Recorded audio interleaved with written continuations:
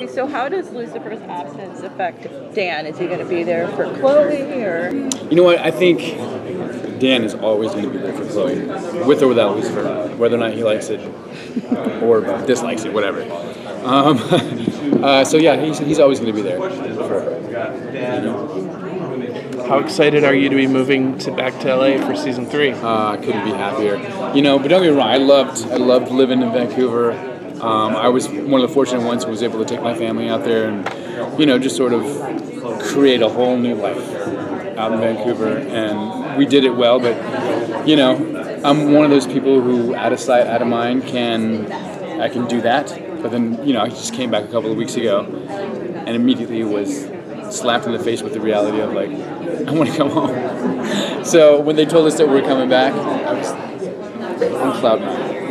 Dan's kind of been brought into the fold a little bit more over the last few episodes. How does that, when the show comes back, how does he kind of fit in? Does he feel like he's more in the know of what's going on, or I wouldn't. I wouldn't say that he feels like he's more in the know, um, because I, you're going to see him um, still struggle with why Lucifer is the way he is, who he is, why he's always around, like that kind of thing. Um, but he, he stands up for himself a little bit more, you know. So you're going to see some really great banter between the two. That um, instead of you know somebody made a comment earlier that they thought Dan was sort of a, uh, a doormat in the beginning.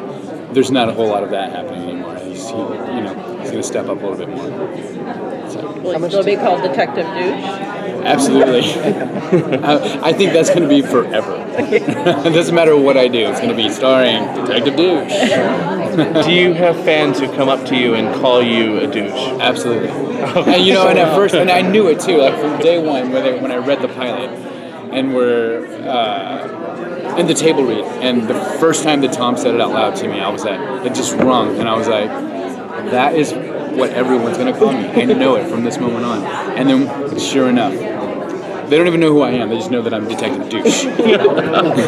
yeah. How What much are does he Detective have? Douche's socks today? Excuse me? Your socks today. Oh, what are my socks today? Oh, they're kind of boring. Oh. But they're.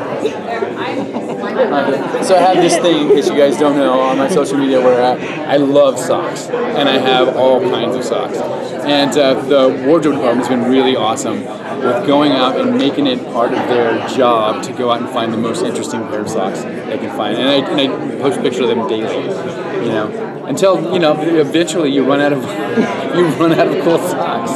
But I do. I have a huge thing. What's that? Favorite pair? My favorite pair. Yeah, I think my favorite pair of socks. What would they be? Well, I call them my airport socks. Um, and they're my own personal socks. Uh, they're green, and you know how they make you take your shoes off, but they have uh, little hands that you can do that. so those are my favorite pair of socks. So how much has Detective Douche, uh, how much of a role does he play in the lead up to the finale?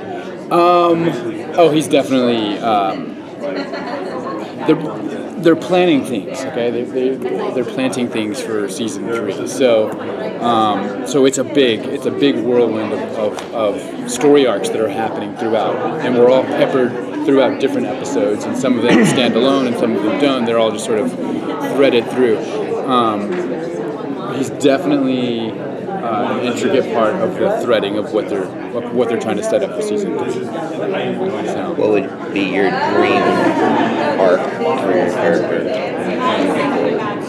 you know what? I want to return into like the ultimate super villain. like that would be dope. You know? Well, your character was doing shady things for a while. It could have, it could have gone that way. Yeah, it, it very well could have, and, and it still can. You never know because he he does he does shady things, but he does it, you know, with the uh, with a good intention. It's like, you know, to take the blame off of Chloe, to you know, to have to avenge, you know, whoever wronged her. Like you know, he does it for those reasons. So it comes from here, but always ends up, you know, not the not the cleanest thing to do. will Dan have any interactions with God? Uh, that's a great question. Um, yeah, maybe. What was it like Yeah. working with Tim? Oh my god, so amazing! Like, uh, walked right in, like he like he was there from day one, you know. And it, yeah, any any any scene, any actor who's in a scene with him, you just can't keep a straight face because he's so good and so funny. You know, he's awesome. So yeah, I mean, there, there there's some interaction. Um, Rachel said, I think there's some interaction between Dan and Linda. Mm-hmm. Can you talk about that? Like, because that's not something we see very, like, at all. yeah, this season you're gonna see, like I said, they're peppering things in, right? Um, so you get to see um, like Dan and Amenadiel have have have a moment or two. You um, definitely like the other night we, uh, me, Lauren, and uh, um, Rachel shot a really great, funny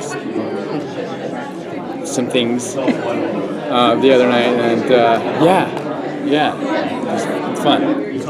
You mentioned it's peppering things for season three. What have you been told about season three? Not a lot, not a whole lot, uh, honestly. Um, other than, you know, because we're always trying to figure out, hey, where's my character at? Uh, other than they love to see him suffer. the writers and the creators love to see Detective Douche suffer. So they're like, it's definitely going to be part of season three. So you're going to suffer some more. I'm like, okay. So something. Any good Trixie moments with Dan coming up? Um, you know, Trixie's in such high demand as an actress, so it's hard. To, it's hard to. Uh, it's hard to get her. It's hard to get her. Um, I'm not sure that there's much more coming this season, but we're, we're hoping that you know there'll be a lot more for that for season three. How's it been to work with Tricia Helfer? Because, you know, Oh. Dan and, you know, Well, first of all, insane. she's terrible to look at. Um, no, she's amazing. So opposite of what her character is on the show.